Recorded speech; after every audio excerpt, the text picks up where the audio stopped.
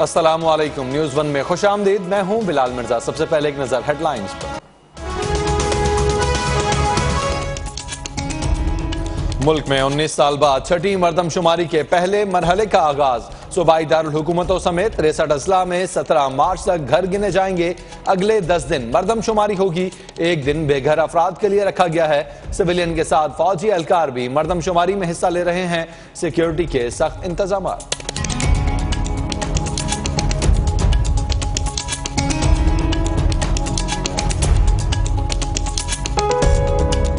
وزیر خزانہ اسحاق ڈار کا شناختی کارڈ کی شرط میں نرمی کا اعلان۔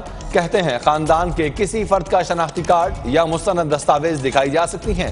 نثار کھوڑوں کا سن میں مردم شماری پر تحفظات کا اظہار۔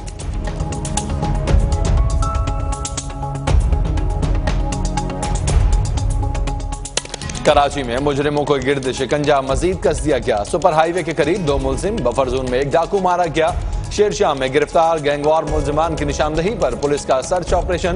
پانچ ملزم گرفتار اورنگی اقبال مارکیٹ اور جیکسن سے پولیس نے چار ملزمان دھر لیے۔ موسکو سے مزر صحت گٹکے کی بھاری مقدار پکڑی گئی۔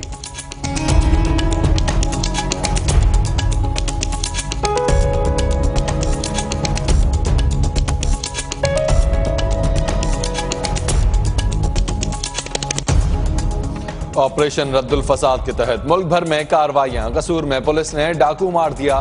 شجاع آباد میں سرچ آپریشن کے دوران سات ملزم، حافظ آباد میں دو اشتہاریوں سمیت آٹھ ملزمان گرفتار۔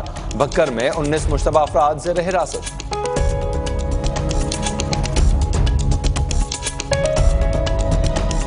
پاکستان اور افغانستان کے درمیان کشیدگی کم کرانے کے لیے برطانیہ متحرک۔ آج لندن میں اہم بیٹھک ہوگی۔ پاکستان کی نمائندگی مشیر خارجہ سرتاج عزیز کریں گے۔ افغان سیکیورٹی ایڈوائزر حنیف اتمر بھی شریک ہوں گے۔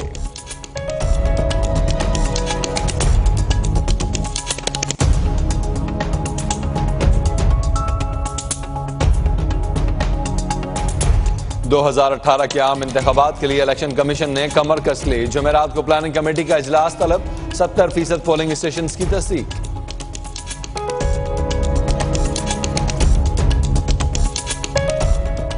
سپر لیگ میں کرپشن۔ شاہ زیب نے چار گھنٹے بیان ریکارڈ کرایا۔ آج پھر پوچھ گچھ ہوگی۔ عرفان بھی جال میں پھنس گئے۔ معطل کر دیا گیا۔ چودہ دن میں جواب طلب۔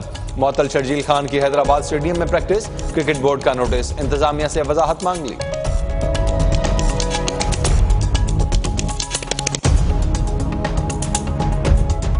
یورپی یونین کی کورٹ آف جسٹس نے کمپنیوں کو مسلمان خواتین ملازمین کے حجاب پہننے پر پابندی کا اختیار دے دیا۔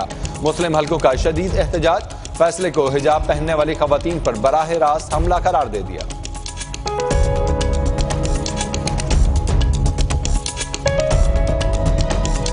امریکہ کی کئی ریاستوں میں شدید برف باری اور طوفان سے نظام زندگی مفلوج۔ سڑکیں زیر زمین ریلوے بند۔ ہزاروں پروازیں منسوخ۔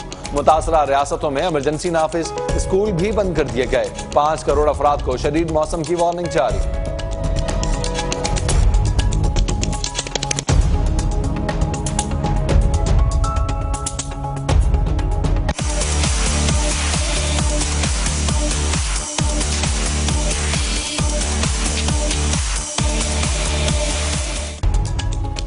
اور برازیل میں فیشن کی بہار، ساؤ پالو میں فیشن ویک کا آغاز اٹلاتی بل کھاتی دلکش حسیناؤں کے ریمپ پر چل گئے